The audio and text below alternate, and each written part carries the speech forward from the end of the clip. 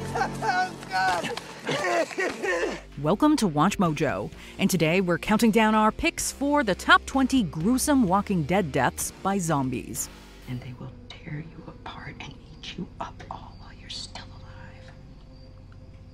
All while you can still feel it. For this list, we're looking at the most violent and horrific deaths that came at the hands or teeth of walkers. If you haven't seen the entire show, beware of major spoilers ahead. Which Walking Dead zombie death gave you nightmares? Let us know in the comments. Number 20, Shiva. Your Majesty, this ain't gonna work. You gotta leave me. I'm slowing you down. No, you don't get to do that. Come on, I'm almost out of ammo. During the war against the Saviors, King Ezekiel gets injured. Things take an even worse turn when the group is cornered by walkers. Just go! I'll hold them off! Ezekiel, we can get you away. You can't! Ah! I can't leave you, Your Majesty! Ah! Come on, man, just go! The king tries to convince his friends to save themselves when his loyal tiger springs to the rescue. While Shiva is able to deflect the walkers from Ezekiel, the feline is unable to overcome all the undead that start to surround her. Shiva! Watch helplessly as Shiva is left with no way out and mercilessly mauled. The show tries to make it easy on viewers by cutting away just before the gory details are seen. However, the blood trail left by Shiva's demise doesn't leave much to the imagination. Number 19, Francis. He used to live in silence. His mother can't quieten the child. And the dead will. Natural selection. Whisperer leader Alpha's lack of empathy leads to her demanding that a follower named Francis abandon her child among walkers. Although the young one is rescued by the heroes, the mom believes she's lost him. Her trauma leads to a complete breakdown. I love him and he's gone.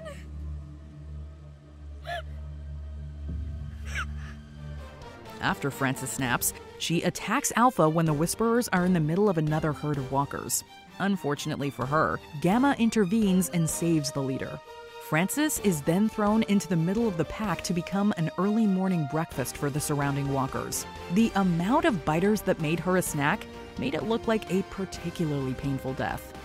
Number 18, Tina. When Tina, Sherry, and Dwight escape from the Saviors, they encounter Daryl in a forest along with a greenhouse that's burned down. Can't believe we're back. It's not home anymore. It's better than where we were. This is a pit stop. We pick up Patty, nothing more than that. Tina recognizes two bodies belonging to people she once knew and decides to pay her respects. Unfortunately, the zombies don't care about her warm sentiments. They break through the melted glass they're encased in to attack her.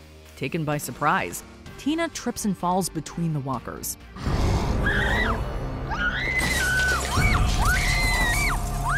They both gnaw into her before the others can help. Not only does she scream in agony, but she passes away pretty quickly from a combination of blood loss and infection. We had to try. We had to try. We had to. I'm so sorry. It was a quick and brutal way to go. Number 17, David. Circle around the woods on Redding. I'll get in front of them before they get there. I can lead them away again. RV's a mile back. I can go with you. I'll handle it. Just get home. They might need you there. There are a lot of casualties when the Alexandrians attempt to lure a gigantic herd of walkers away from their community. But David faces one of the worst fates. After getting a walker bite, the Alexandrian just hoped he would survive long enough to see his wife one last time. But if I could make it back, I'd want to say goodbye. Tell her. Finding her in all this, that was everything. But that wish never comes true. While trying to climb a fence away from a roaming group of undead, David is dragged into the crowd. His friends can do nothing as he's violently devoured before their eyes. Although not all the walkers manage to get a taste due to the large herd, that's a small consolation for David. He is eaten alive in agonizing fashion while pressed against a fence. We gotta go. We gotta keep going. We don't have a choice. We don't have a choice. Come on. Number 16, Beatrice. The age old technique of using walker guts to move through a horde is far from a bulletproof technique. It's crucial that all the equipment makes it to the wagon. We can make it through. I'll help. We're willing. Beatrice knows this all too well. While trying to sneak through a huge crowd of zombies while camouflaged, Beatrice and Carol successfully defeat a Whisperer. However, their enemy doesn't go down alone. The Whisperer stabs Beatrice and causes the heroine to scream. As a result, the walkers see through the camouflage and attack. To her credit, Beatrice goes down bravely.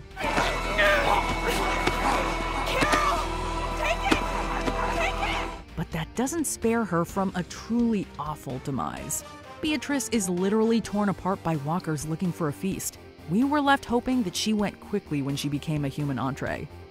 Number 15, Rick's horse. More like a proposal. Atlanta's just down the roadways. Safe there. Food, shelter, people. Other horses too, I bet. Since there wasn't much gas for cars around after the apocalypse, Rick decides to ride a horse into the city. He quickly realizes that galloping into a city was not the smartest thing to do when the pair stumbles upon hundreds of walkers. Although Rick escapes the crowd, the horse meets its end when the zombies overwhelm it.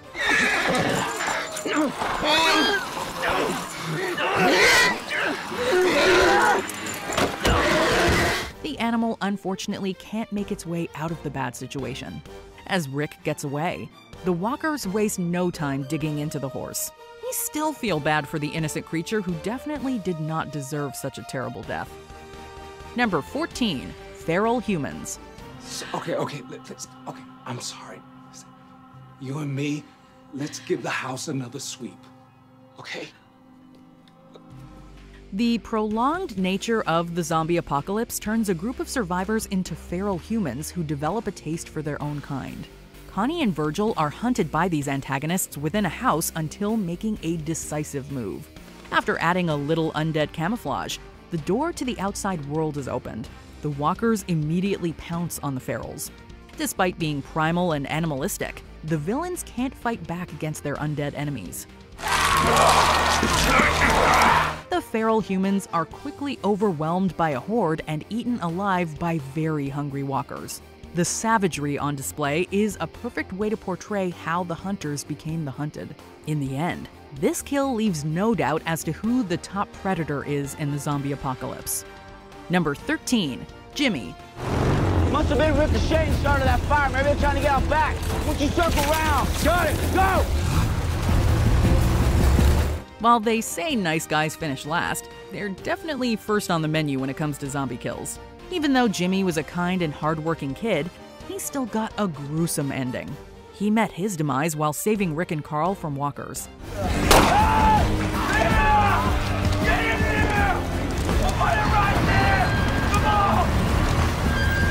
After the farm is overrun by the undead, Jimmy drives Dale's RV to the barn for the father son pair to jump on. Unfortunately, the crowd forces themselves inside the RV before he can react. One walker takes a particular interest in the young man's neck to ensure there's no coming back from this attack.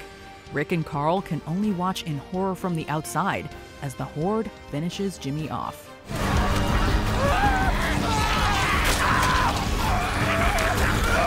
Number 12, prison victims. The spread of flu in the prison threatens to destroy the community Rick has built there because the lack of treatment makes this illness fatal. When young Patrick succumbs to the disease on his own one night, his death proves to be the undoing of many others. Your eyes, ears, nose, and throat are the top. Is a sickness from the walkers? Nah, these things happened before they were around. Could be pneumococcal, most likely an aggressive flu strain. After he's reanimated, the young walker starts a feeding frenzy by biting into an unassuming and sleeping victim. The guy Patrick chomped on eventually rises to feed too. This awful chain reaction leads to a series of brutal deaths in short succession. Help! Help! I don't know! And thanks to incredibly realistic effects, the victims look like they suffered unbearable fates. Even the strongest of hearts will have difficulty watching this blood filled nightmare in the prison. Number 11, Beta. Alpha's death at the hands of Negan causes Beta to become absolutely unhinged in his quest to seek revenge.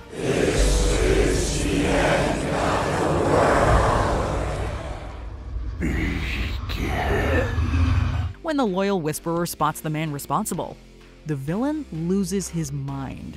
The vengeful Beta tries to eliminate Negan for causing Alpha's demise. However, Daryl steps in and uses two knives to relieve Beta of his eyes. The villain somehow survives the sharp attack and starts hallucinating. As Beta descends into a delirious state, he decides to welcome the walkers that proceed to devour him.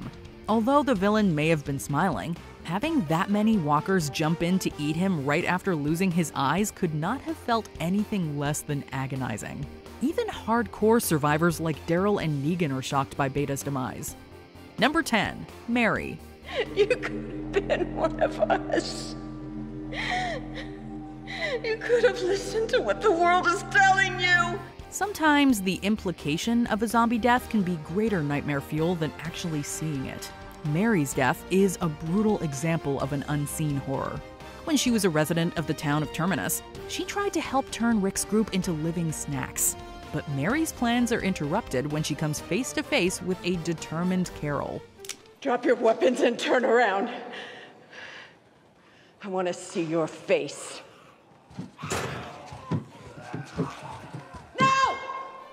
After losing the fight, the Terminus resident is shot in the leg. But Carol isn't done. Instead of finishing her enemy off, she opens the door for walkers to come in and feast on the defenseless Mary.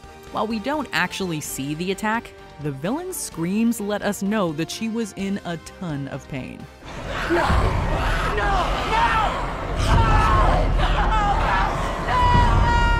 It's ironic that someone who lured humans in to make them into meals goes out by being eaten by the undead. Number 9. Amy. A calm night for the Atlanta camp inhabitants turns into a horror show when they're all attacked by roaming walkers. What I say? Brought a toilet paper? While people like Ed Peletier die in horrific ways, Andrea's sister Amy arguably got the worst ending of all. An unaware Amy gets an arm munched on by a sneaky walker. But her misery doesn't end there. After getting a taste for Amy, the walker goes on to sink his teeth into her neck. Despite her injuries, she still manages to stay alive and screams out of a mix of fear and extreme pain before passing away. The sweet Amy did not deserve such a harsh death, but that is the harsh reality of the zombie apocalypse. Number 8. Caesar Martinez. If you come back with us, there's two things you gotta accept. One, I'm in charge. Two, no dead weight. That goes for everyone. After falling out with the governor, Martinez allows his old boss to join a new group, but the two really should have kept their distance. When Martinez suggests that the two of them should share leadership, he's hit with a cheap shot from the governor. Ah, Jesus. I should have taken some golf lessons. Before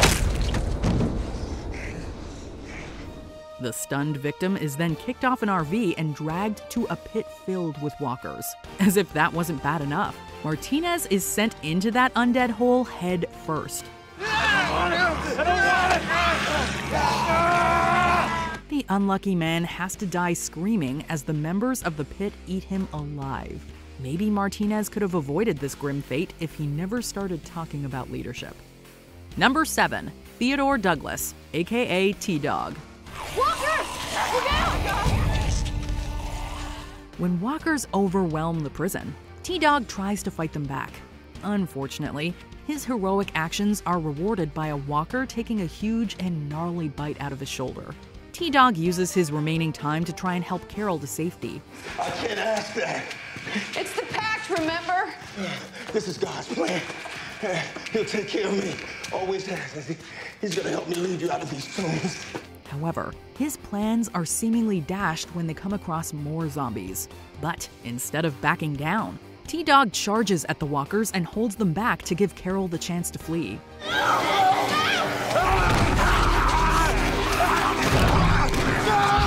The merciless walkers tear into him as his agonizing screams echo in the dark prison. By the time Rick and the others find T Dog, there's almost not enough left of him to bury. Number 6. Jared. Jared was a despicable savior who took particular pleasure in tormenting people like Morgan to get his kicks. I think I finally got it. It's your armor. It's different. Smaller. Almost like it. like it shrunk or something. So it was satisfying to see the villain finally get his comeuppance. After trapping Morgan, the hero turns the tables on Jared. The antagonist is trapped behind a gate as walkers approach him. When Jared tries to get out, Morgan holds him in place as the undead come to feast.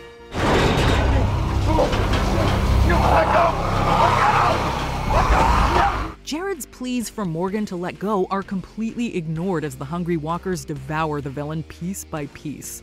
The hero does not let go until Jared is dragged to the floor. Although deaths on the show are not always fair, the villain 100% had this demise coming. Number 5. Paula. Paula is built up as a tough and capable lieutenant of the Savior Group. Lower your gun, prick. You with the Colt Python.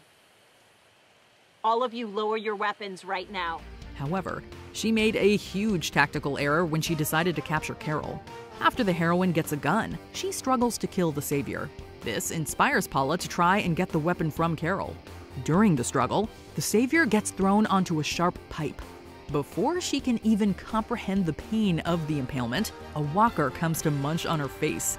It's unclear whether the pipe injury or the walker's bites were the most painful part. However, we are certain that Paula screamed bloody murder when it was all happening. This terrible death is so hard to watch that even Carol seems sickened by it. What if this would have happened if I just killed him? Don't think about it. I can't stop. We're almost done. Number 4. Otis. Otis and Shane's team up to gather medicine for Carl hits a snag when they're confronted by a herd of walkers. Those winners. What's on the other side? About a 20 foot drop, nothing to catch them, maybe some bushes, then the athletic fields. We just need enough time. We gotta get up there. We gotta get them open, get out. Not me, maybe you. Although they evade their pursuers for some time, it becomes clear that they don't have enough bullets to take them all down. Seeing no other option, Shane apologizes before shooting Otis in the leg. I'm sorry.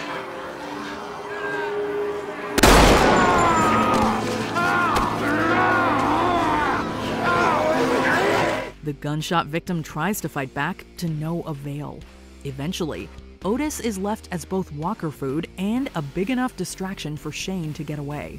The walkers waste no time feasting on the live bait. We could only gasp in shock as Otis was torn apart by the hungry herd.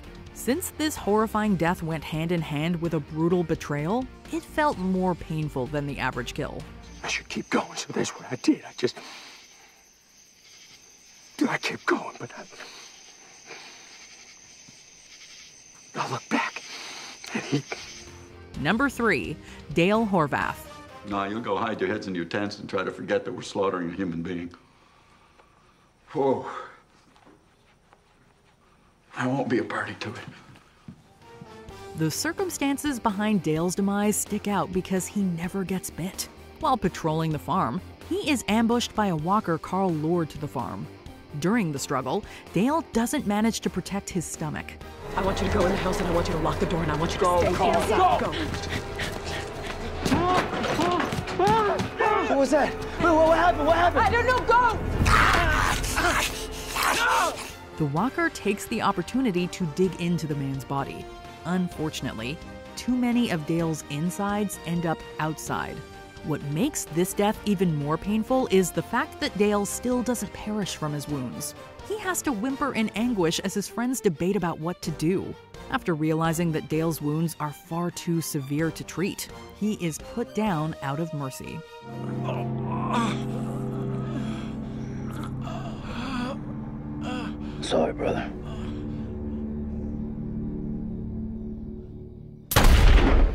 Number 2. The Anderson Family. While trying to sneak through a horde of walkers with Rick's group, Sam's cries cause him to be instantly swarmed by walkers. He can only let out a blood curdling scream as they take him out. I need you to come with me. I want to. I need you to be strong. When his mother Jessie sees her son go, she starts screaming and gets consumed as well. Come, come with us. Come on, we have to go.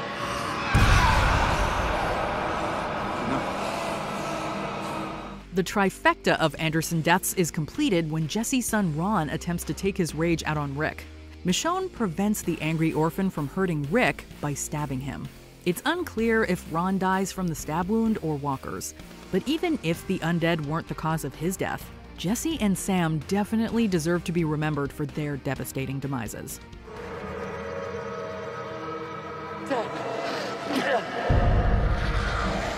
Before we continue, be sure to subscribe to our channel and ring the bell to get notified about our latest videos. You have the option to be notified for occasional videos or all of them. If you're on your phone, make sure you go into your settings and switch on notifications. Number 1. Noah. No matter how much time passes, this death still hurts the fanbase. Though not as much as it hurt Noah. While on a supply run, Aiden Monroe makes a stupid decision that lands him and his friends in hot water. They're here!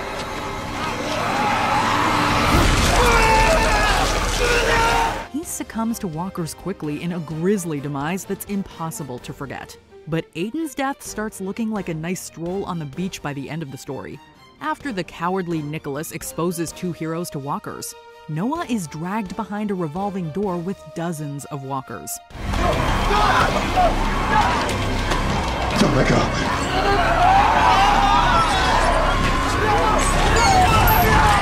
Glenn is forced to watch as his friend is ripped apart with horrifying and realistic detail. The kind Noah did not deserve to endure what was arguably the most hellish death in Walking Dead history. Do you agree with our picks? Check out this other recent clip from WatchMojo, and be sure to subscribe and ring the bell to be notified about our latest videos.